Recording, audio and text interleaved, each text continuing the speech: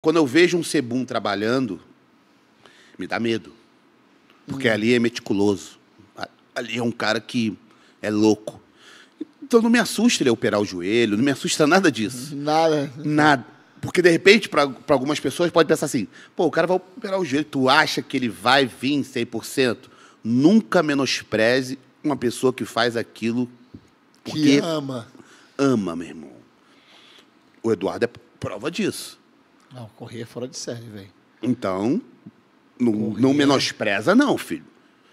Pelo contrário, ele vai dobrar a, aten- a atenção e a dedicação. Ele vai dobrar. É, não é tipo, ó, ih, ferrou, operou o joelho, beleza, Não. valeu. Não, é ferrou, ferrou, mano. O cara Não. vai vir com a faca no dente. Não faça isso. Não faça isso. Não cometa esse erro. Vai se arrepender. É mesmo. Entendeu? Aí, Pablo, você tá ouvindo, né? O Pablo aqui, né? Você tá ouvindo, né? Sebão vai vir com a faca no dente. Você tá vendo isso aí, né, mano? Não, porque assim, é um cara, eu vejo assim, a, a análise igual o Guerra. O cara já tem tudo. Marca de suplemento, tá no Walmart agora. Porra, bem sucedido, empreendedor, tudo. Se ele tá vindo, ele quer fazer história. Ele não veio pra, ele não veio para perder. Ele não veio para brincar. E quando você fala de Ramon e de Sebum, automaticamente o Brasil esquece dos outros que também estão treinando muito. Que pode surpreender. Sim. E nesse mesmo tempo, o pessoal esquece que é o topo da cadeia. Não tem, não tem para onde ir mais, ali estão os melhores. O Derek, o Derek é da é da mesma categoria? O Derek Não, o Open. Derek, eu tô falando da Open, né? O negão que você falou que, que treinava em 2019, ele era outra categoria. Ele nem era Open. Na, na- O Derek é o negão que era da... Não, o Derek é o branquinho. É, o branquinho. Ah, o Derek da- das veias. Derek, Derek. Não, Derek esse é o. Nick. O, Pô, você sabe que eu manjo muito, né? Nick! Deixa Nick comigo, Red. deixa comigo. Por favor, Jorlan. Por isso que era tão importante Fernando confia, confia, aqui comigo. confia. Eu não tenho confia. vergonha nenhuma de falar, não, velho. É isso aí mesmo. Vamos lá. Entendeu? Então, tipo, Isso. Isso, ele tá me soprando aqui que o Derek é o que, que tava com problema nas pernas, que veio um monstro agora. É, que você me mostrou a foto que a gente tava vendo aquele dia, né? O cara botou as pernas. É isso, beleza. Manjo demais. oh meu Deus. o Brasil esquece que tem outros treinando muito forte nesse momento. Exato, cara. Então, tipo assim, todo mundo tá indo pro mata-mata, filho.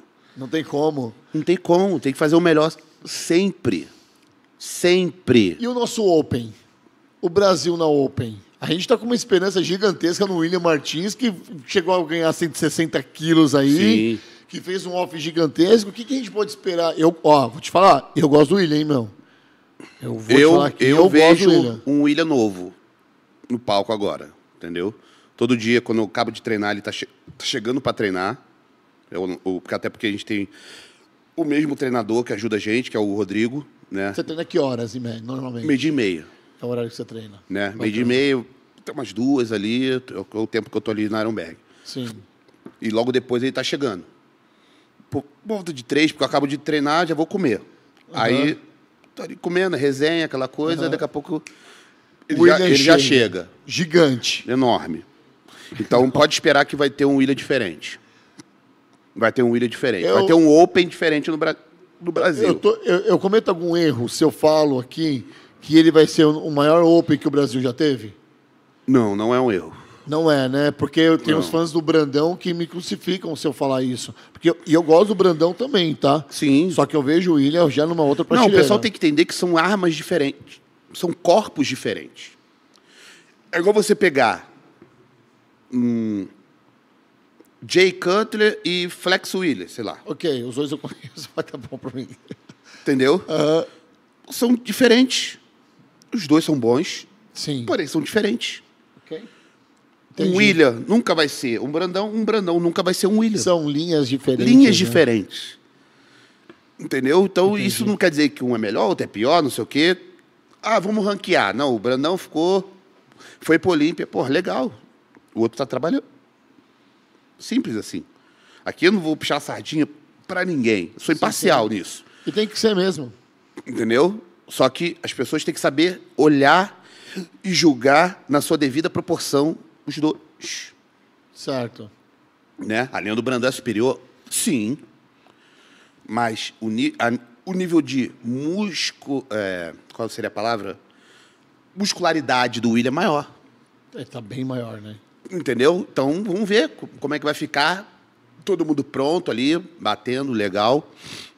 Né? E a galera tá falando aqui na, na internet sobre o Nescau. Eu, eu vou falar uma coisa sobre o Nescau, cara. 2000, acho que ano passado nós estávamos no Rio de Janeiro. Não sei se eu lembro se foi ano passado que a gente estava. Acho que foi.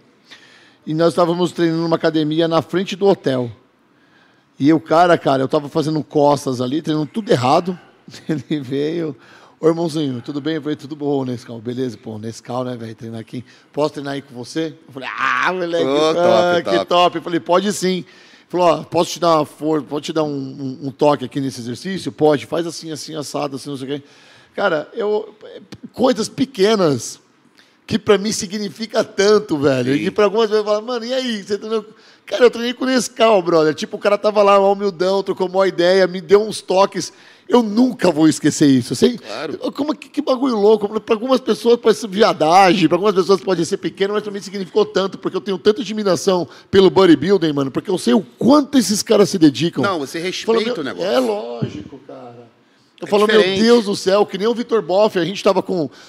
O stand da Black School tava aqui, o stand da Max estava aqui, beleza? Uhum. O nosso podcast estava em cima do nosso, do nosso, do nosso stand, porque foi feito todo uma, uma, um planejamento para o nosso, nosso podcast, a nossa central também fica em cima do nosso stand. O Vitor Boff foi campeão, foi ano passado, acho que foi isso, que ele foi campeão, no Rio de Janeiro. E aí, cara, ele veio, ele foi lá no stand da Max, a gente estava de frente. Cara, a gente parou o podcast assim e aplaudimos o cara, velho. Legal. Nós aqui da Black School, nós olhamos pro cara assim, paramos tudo e. Mano, parabéns. O cara, velho, ficou uma hora conversando com a gente na- lá no hotel. Todos os atletas da Black School, assim, nós temos muitos atletas que não são reconhecidos na mídia. São pessoas que treinam, são campeões da vida, entende? Claro, claro. Que, mano, que estão atrás de um sonho também.